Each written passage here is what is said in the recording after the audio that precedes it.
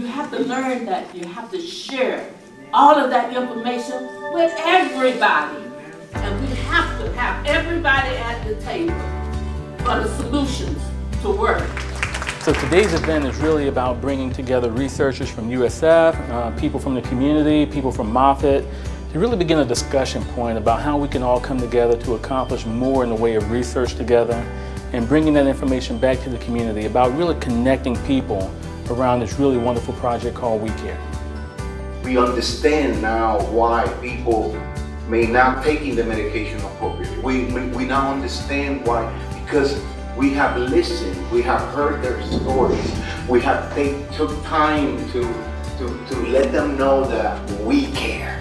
It's very important that We Care accomplish the goal of getting more people involved so we can get more genetic patterns into the research so we can more effectively treat people in the future.